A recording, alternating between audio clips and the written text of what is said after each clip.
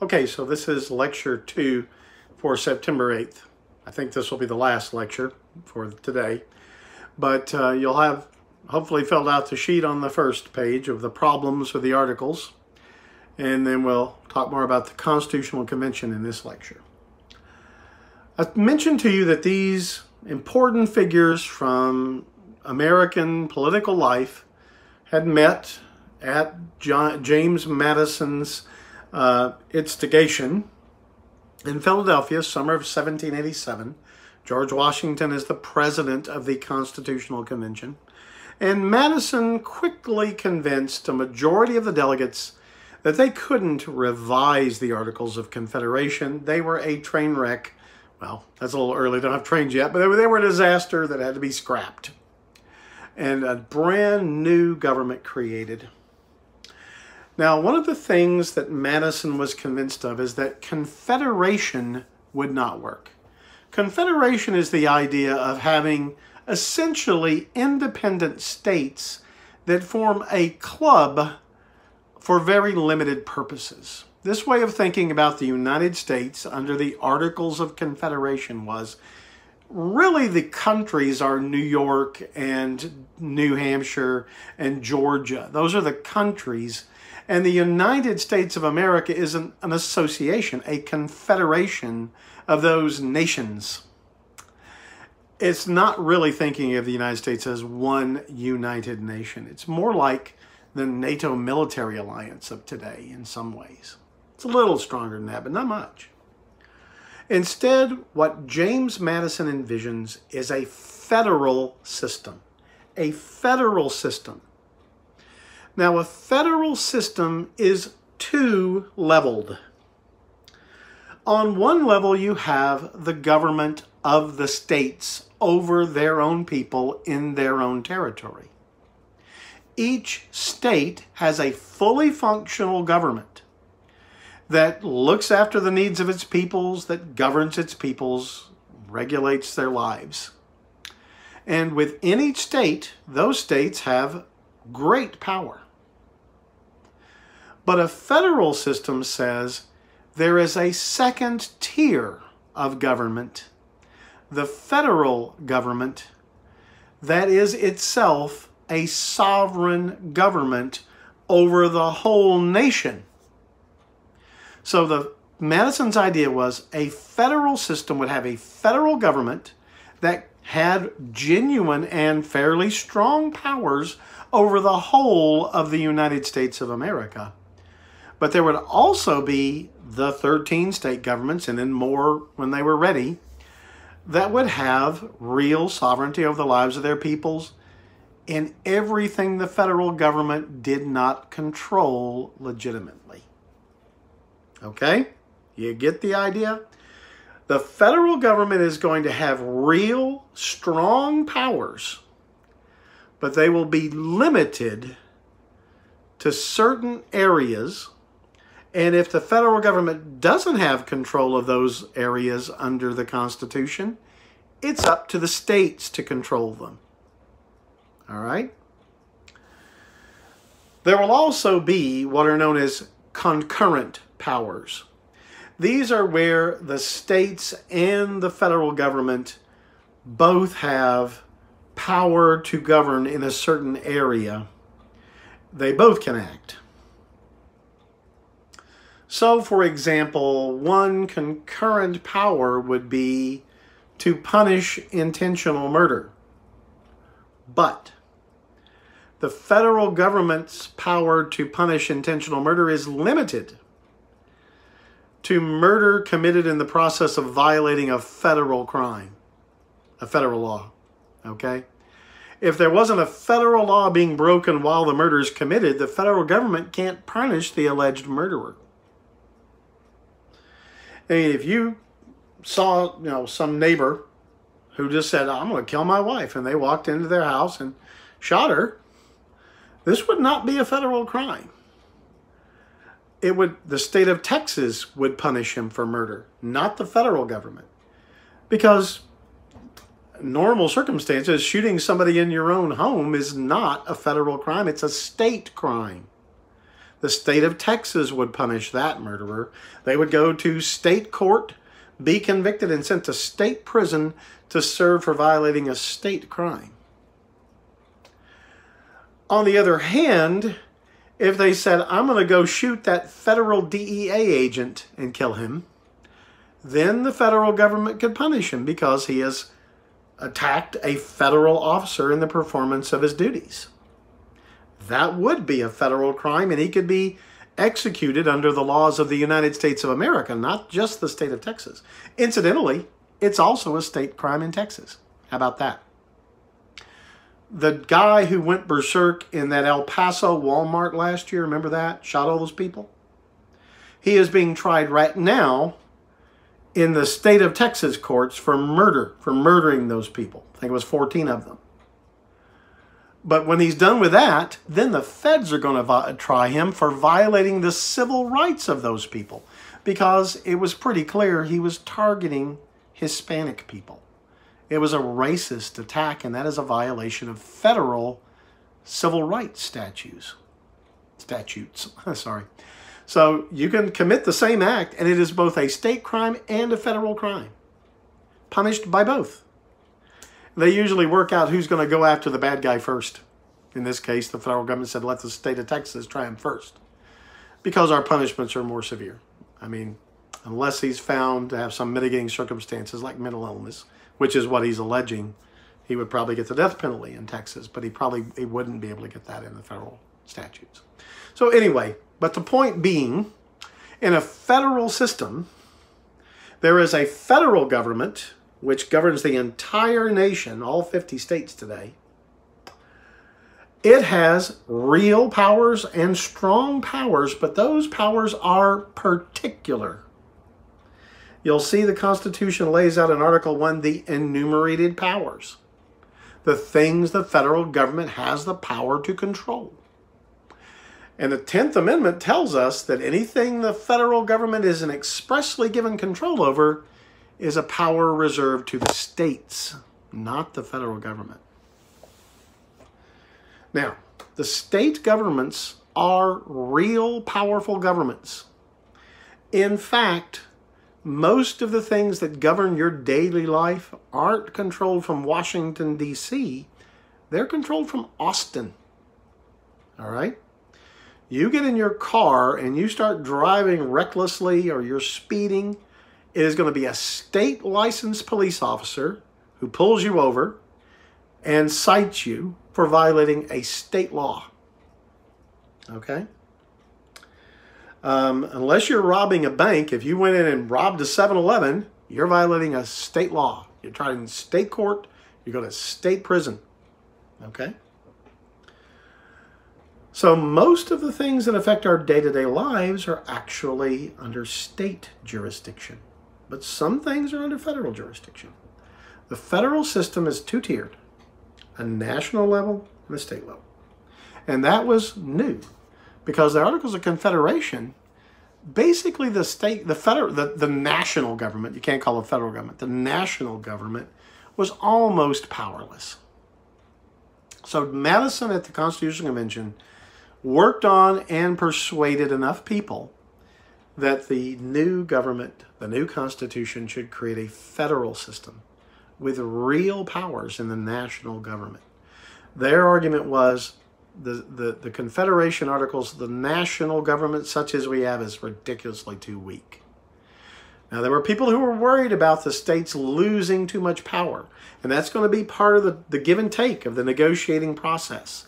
How much power are the state's going to have left when we're done with this? How much is going to the federal government? It'll be very carefully negotiated. But there will be a separate level of government with its own separate institutions at the national level, the federal government. Now, the federal government Madison proposed, and this becomes known as the Virginia proposal because Madison was from Virginia.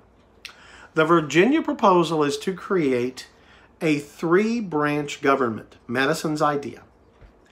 There will be a legislative branch, Congress, and you'll remember the legislative branch makes the laws. Congress is the legislative branch there will be an executive branch to enforce federal law. After a little hemming and hawing, they decided to call the chief executive officer of the executive branch the President of the United States. So there's a Congress and a presidency. But remember, one of the big problems with the articles was if you want to do interstate commerce, you had to sue somebody in their own home state. If it wasn't your state, you were at a huge disadvantage. So Madison proposes an entire federal court system so that there is a federal law enforced by federal judges that are supposed to not be beholden to the state governments or the state voters or anything particularly state related. They are federal government officials to enforce federal law. Or you could sue somebody in another state under the state laws of that state, but you would be getting an Im, more impartial federal judge. And this is complicated. This kind of stuff you have to learn about in the first year of law school. I'm not going to expect that kind of in-depth knowledge out of you guys in high school. But just know that the federal court system is there to try to take away the home field advantage of the local guy in his own state court try to make a more national level playing field for everybody in interstate disputes. So there's a Congress, a legislative branch, that's the Congress, an executive branch with a president, and a federal court system in the federal court that's being created by the Constitution. Now, Madison's Virginia plan imagined some major changes to the way Congress had worked under the Articles of Confederation. For one thing, under the Articles of Confederation, there was just one House of Congress. There were 13 states with one vote each. And by the way, I forgot to mention this last time. Important decisions on most things had to be unanimous. All 13 states had to agree before they would be passed. How likely is that to happen, right? Really hard to get 13 just regular people to agree about something. Um, getting politicians with different interests from different parts of the country together to agree, very hard. So what Madison proposes is breaking the Congress from one house to two. An upper house of Congress and a lower house of Congress. The upper house of Congress was to be called the Senate. He's calling on the name of the ancient Roman Senate. He really was a student of Roman history and he thought the Romans had wisely created this body of wiser older men.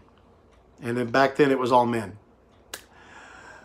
And then there was the lower house, which was going to be bigger and closer to the people. Now, how does he do that?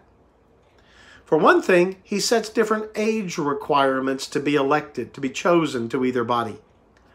To be a member of the Senate, and you might remember from your Roman history, that actually means council of elders, you had to be an older individual. You had to be 30 years old to be selected to serve in the Senate. To be able to serve in the House of Representatives, you only had to be 25. The youngest member of the House of Representatives right now is Alexandria Ocasio-Cortez. I'm sure you've heard of her. Uh, I believe she's now 27. She might have just turned 28. So it's not common today for people in their 20s to be elected to Congress, but it does happen in the House of Representatives. The lower house is called the House of Representatives. The Senate, you have to be 30 to be chosen. The House of Representatives, you have to be 25. The Senate was meant to be a smaller body of wiser older men in Madison's vision. And the common people did not directly select them in his idea. When the Constitution was written, the senators were chosen by the state legislatures of each state. They were not voted by the common voters. You voted for your state legislator, and then your state legislator chose who the senator would be. This was because Madison was kind of an elitist. He thought your average person wasn't really all that smart and might be too swayed by emotions.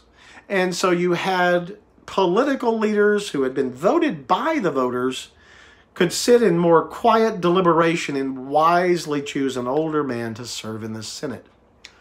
The House of Representatives, on the other hand, will be the people's representatives. These are ones that every citizen who can vote gets to vote for.